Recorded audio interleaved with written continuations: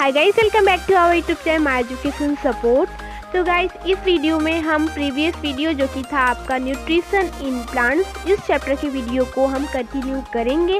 और अगर आपने मेरी वो वीडियो नहीं देखी है तो लिंक जो है डिस्क्रिप्शन बॉक्स में है, आप वहाँ से देख सकते हैं।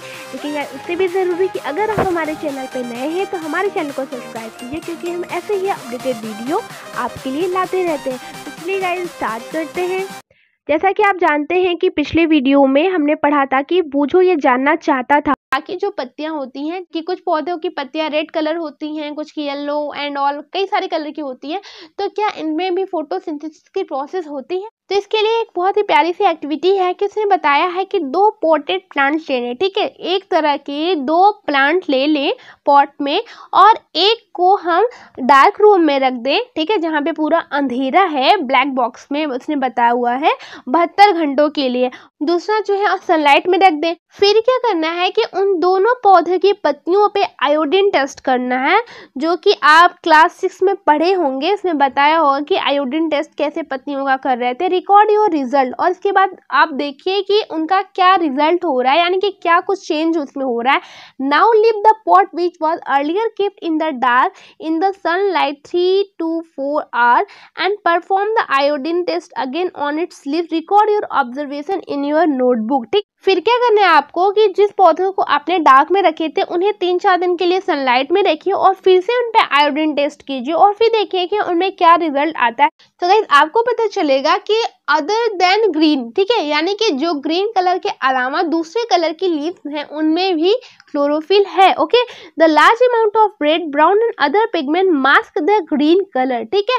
उनमें क्या होगा कि ग्रीन कलर का मास्क आपको दिखाई देगा okay photosynthesis take place in this leaves also इस तरह से ये पता चलता है कि फोटोसिंथेसिस की प्रोसेस भी उन लिप्स में हो रही है। अगर आप क्लोरोफिल को और अच्छे से जानना चाहें तो आप देखे होंगे कि जितने भी पॉन्ड्स वगैरह होते हैं, जहाँ पे पानी जो है, रुका हुआ है, ठीक है? वहाँ पे स्लीमी ग्रीन पैचेस जो होते हैं, जिन्हें हम अलगाए बोलते हैं, वो क्या होते हैं? जमे होते हैं या फिर कह सकते हैं, वहाँ पे वो ग्रो किए होते हैं। This are generally form by the growth of organisms ये किसकी वजह से होते हैं? ऑर्गेनिजम्स की वजह से होते हैं, ठीक है? Can you guess why algae green in colour ये अलगाए ग्रीन कलर का क्यों होता है? क्या आप इमेजिन कर सकते हैं? They contain chlorophyll which gives them the green colour यानी कि अलगाए जो होते हैं, वो क्लोरोफिल रखे होते हैं, इसीलिए वो पूरी तरह से ग्रीन कलर में दिखते हैं। Algae can also prepare their own food by photosynthesis यानी कि उनके पास अगर क्लोरोफिल है तो फोटोसिंथेसिस प्रोसेस हो रहा होगा। इन द सेंस ये हुआ कि वो अपना खाना, अपना फ़ूड खुद प्रिपेयर करते हैं।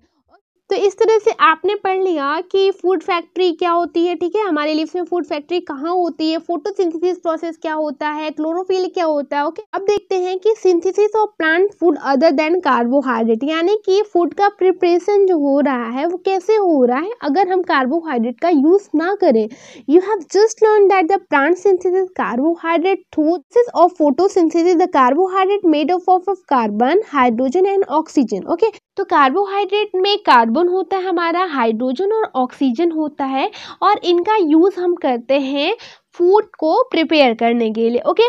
But proteins are nitrogenous substance which contain nitrogen लेकिन जो प्रोटीन होता है ये एक नाइट्रोजनियस सब्सटेंस होता है जो कि नाइट्रोजन को कंटेन किया होता है ओके? यानी कि प्रोटीन का मेन सोर्स अगर देखें तो नाइट्रोजन है okay? From where do the plants obtain nitrogen? के जो प्लांट्स होते हैं वो ऑप्टेन कहाँ से करते हैं? नाइट्रोजन के यानी कि नाइट्रोजन तो आ, हमारे एयर में होता है ये तो पता है आपको बट ये ऑप्टेन कैसे करते हैं ये भी जानना ज़रूरी है ओके? ये गैसियस फॉर्म में एयर में तो प्रेजेंट होते हैं, लेकिन हमारे जो प्लांट्स है, ये डायरेक्ट वहाँ से अब्जॉर्ब नहीं कर सकता नाइट्रोजन को। सॉइल है certain bacteria that convert gaseous nitrogen into a usable form and release it into the soil तो उन बैक्टीरिया में कुछ ऐसे बैक्टीरिया भी होते हैं जो कि गैसियस नाइट्रोजन को कन्वर्ट करते हैं यूजेबल फॉर्म में और उसके बाद सॉइल में उन्हें रिलीज़ कर देते हैं जिससे हमारा प्लांट जो है आसानी से एब्जॉर्ब कर सकता है। This soluble form are absorb by the plant along with water तो इस तरह से नाइट्रोजन जो कि हमारे प्लांट्स के लिए ज़रूरी थे वो वाटर के साथ एब्जॉर्ब हो जाते हैं। Also, you might have seen farmer adding fertilizer rich in nitrogen to the soil. हालाँकि आप देखते देखते होंगे कि जो फार्मर होते हैं ना, वो कुछ फर्टिलाइजर्स का यूज़ करते हैं, यानी कि जिसमें नाइट्रोजन ज़्यादा होता है। In this way the plant fulfil their requirement of the nitrogen along with the other constituent इस तरह से जो हमारे प्लांट्स हैं, वो नाइट्रोजन का फुलफिलमेंट कर लेते हैं। इस तरह से हमारा प्लांट्स जो है, वो कार्बोहाइड्रेट के बिना प्रोटीन एंड फैट्स का यूज़ करके फ़ूड को प्रिपेयर कर लेता है। इस तरह आपने पढ़ा कि mode of nutrition in plant और आपने पढ़ा कि food making process in plant जिसे हम फोटोसिंथेसिस बोल रहे थे। फ़ूड अदर देन कार्बोहाइड्रेट यानी कि कार्बोहाइड्रेट के द्वारा जो हमारे फ़ूड बन रहे थे, वो कैसे बन रहे थे, आपने वो भी पढ़ा। तो गाइस इस तरह से वीडियो यहीं पे इन करते हैं हम और नेक्स्ट वीडियो में हम पढ़ेंगे other mode of nutrition in plants क्या क्या है और पढ़ेंगे सेप्रोट्रॉप्स के बारे में how nutrient are replenished in the soil कैसे न्यूट्रिशन रिप्लेनिस्ट होते हैं सॉयल में, उसके बारे में पढ़े। लेकिन गाइस जाने से पहले, अगर आप हमारे चैनल पर नए हैं तो हमारे चैनल को सब्सक्राइब कीजिए और वीडियो अगर आपको अच्छी लगी तो वीडियो को लाइक कीजिए शेयर कीजिए और कमेंट कीजिए। फिर मिलते हैं।